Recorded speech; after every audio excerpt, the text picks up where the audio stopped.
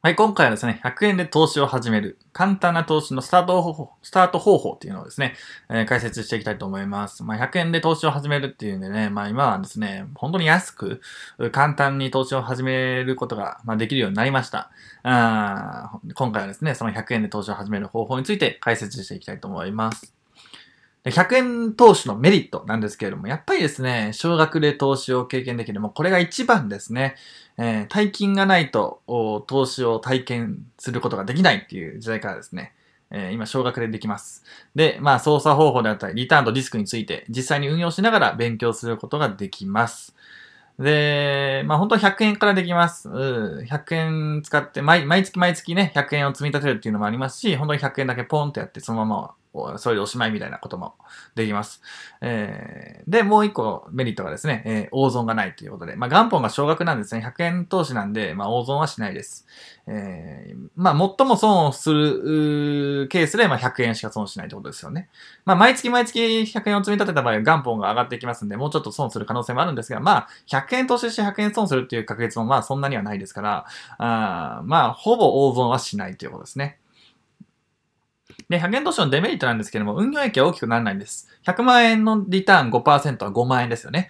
えー、でも100円のリターン5%、5円なんですよね。じゃあ5円投資でゲットして何になるのかって言われたら、まあ正直、何もならないっちゃ何もならないんですけれども、まあそれがデメリットですよね。うん、なんかこの手間まあ、投資って手間、あんま今かかんないですけど、まあ言ってもですね、講座開設に10分かかったりとか、審査があったりとか、あするわけですよね。まあ、大体講座の個人情報登録するのに15分くらいかかって、まあ審査はね、向こうで勝手にやってくれるんで、えあとはあ書類が届いてっていう感じで、まあ、比較的15分くらいの作業ではありますけど、まあ、それでもですね、リターン5円か、みたいな。これ、ね、1年間投資して5円とかそんなんで、なんで、あんまり入益が大きくならないっていうのはメリット、あ、デメリットなんですけれども、まあ、それでもですね、100円投資のメリットはやっぱこれなんですよね。100円でも経験が大事なんですよ。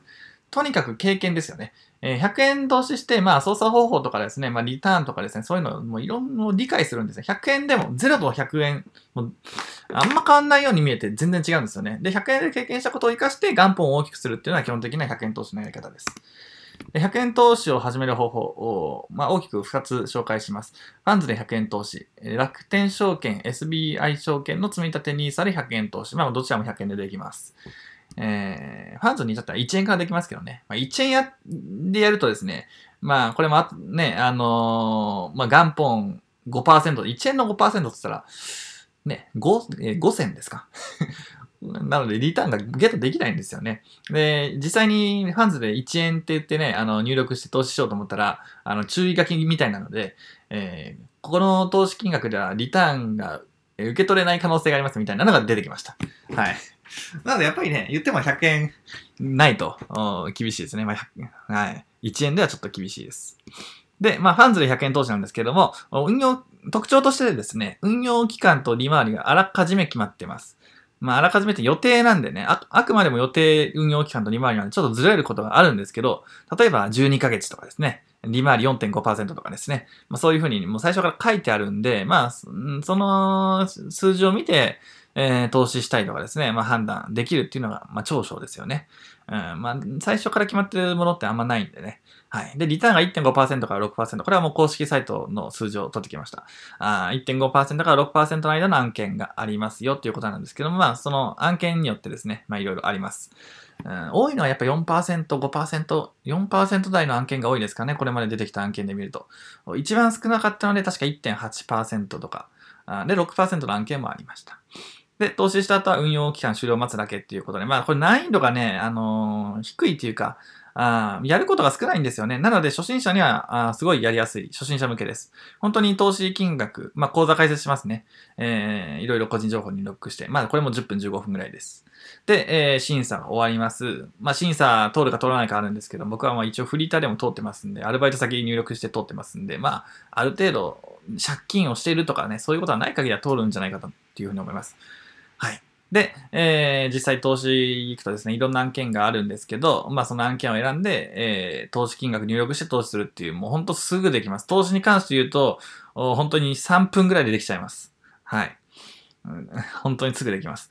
なので、えー、すごく簡単ではありますね。はい。で、投資した後はもう本当運用期間終了。もう本当待つだけなんで、あと何もすることないんですよね。逆に暇っちゃ暇なんですけど、まあ、あの、初心者向けではあるなっていうふうに思います。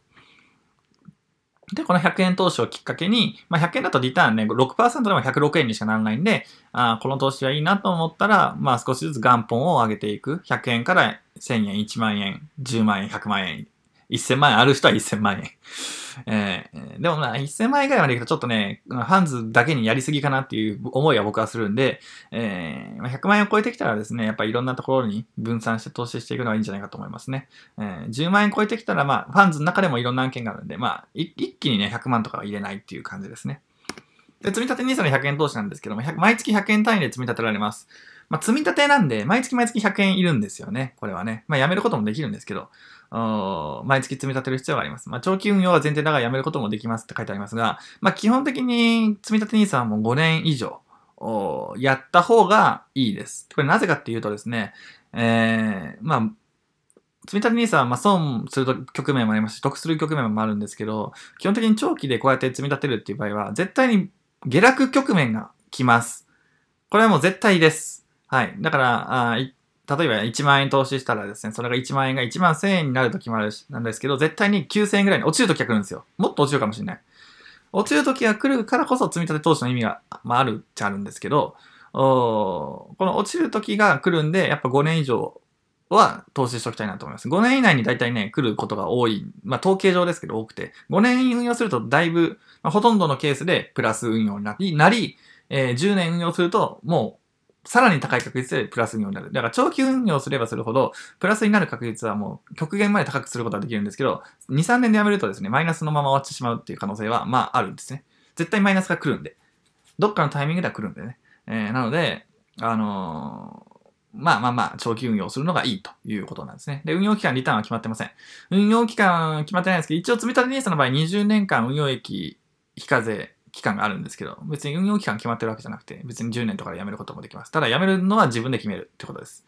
はい。えー、ソーシャルレーニングの場合はもう12ヶ月だったらもう勝手に終わるんですよね。はい。自分が辞めるって決めなくても勝手に終わるんですけど、積み立て NISA の場合は自分で辞めなきゃいけないです。そこはちょっと違いがありますね。で、リターンも決まってないですね。まあ、それはもう世界の情勢とかですね、経済の発展具合とかですね、まあ、そういう要素が絡んでくるというところですね。はい。えー、で、何度も言いますけれども、こちら。100円でも経験は大事ということで、本当は1回やるとですね、本当にやっぱり変わってきますね。えー、最初100円でもいいんです。100円だったらですね、損そんなしないですからね、本当にね。1年間積み立て続けても1200円ですから。はい、積み立て NISA の場合は。えー、ファンズの場合はもう100円投資してそのまま待つだけなんで、本当に100円で終わっちゃいます。えー、ね、別に100円じゃなくてもいいですしね、1万円とかあでもいいわけですから、100円、まあ、積み立て NISA の場合は100円以上なら OK。えー、まあ、あの、積立 NISA の場合、年間40万円までなんで、3万3000何百円、33円なのね。3万3333円かな。とかまでなんですけどね。月単位はね。えー、で、ファンズの場合はもう、上はいくらでもいけますから。はい。えー、元本を増やして、まあちょっとリターン、もうちょっと経験したいな、リターンを得る経験したいなという人は元本を上げていくっていうことができます。で、まあ、少額で最初やりたいという人は、っていう人は、まあ100円ってことですね。で、簡単なのはファンズ、長期投資は積立て NISA ということで。まあ、操作方法的にですね、簡単なのはファンズですね。はい。で、なんですけど、まあ、長期的に積み立てていく、長期間運用していきたいという場合は、まあ、積み立て NISA っていうことになります。まあ、両方やってもですね、200円で済みますから、えー、積み立て NISA 年間1200円ですか？で、次やって、えー、ファンズ100円とか1000円。まあ、年間2、3000円でも全然経験はできます。ということですね。まあ、あの、投資の第一歩を解説しました。まあ、あの、少額でやるっていうことは何度も言いますけど、がん、なんか、運用益が増えるとかいうことはほぼないです。正直なところ。ですけれども、まあ、あ例えば100円でやって、1年後に103円になった。なるほど、なるほど、みたいな。えー、103円になるのかと。